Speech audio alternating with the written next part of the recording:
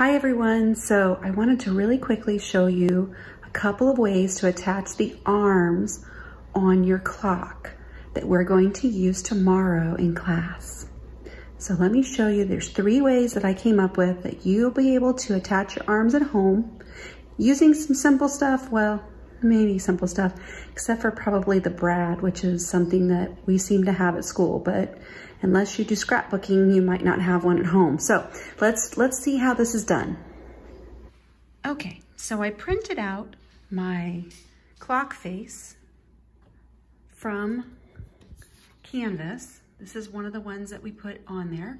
And it literally is just a circle with some dashes around the edges to create the 12 hours and a dot in the middle where the hands are gonna be attached. So after I did that, I cut it out with my scissors like this. And I found a paper plate in my pantry, but you could actually put this um, onto, you know, anything really, another piece of paper.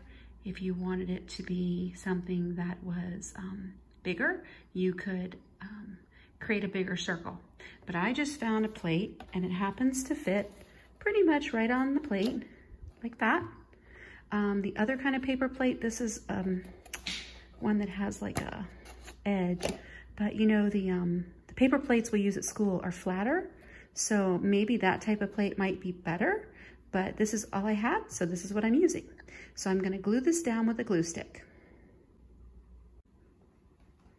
Okay, I think it's really important that you get the edges of the paper before you glue it on. And then just making sure that you try to put this in the center. Now for the arms, I'm using a piece of construction paper and I've put glue on it. And then I'm gonna fold it in half and I'm gonna make it twice as thick so it'll be firm when we need it to be straight when we use it for our hour and for our um, minute hand. Most people won't have one of these. This is a paper brad that we usually have in schools. Sorry. It has two pieces of metal. You push it through the hole in the arms, you push it through the hole in the plate, and then you open this on the back and it creates an area for the arms to swing.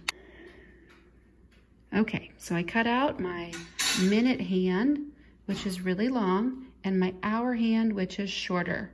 And I punched a hole using a little push pin right in the center of that black dot. And then I put the two hands together and punch the pin through the end to make the same hole. Then you push the pin through the two arms, through the circle on the plate, flip it over, you probably want to get mom or dad to help you with this part, but when it's poking through, you're gonna take an eraser from a pencil and you're gonna push it down on the sharp part. Just, just like that. And now it's not sharp anymore.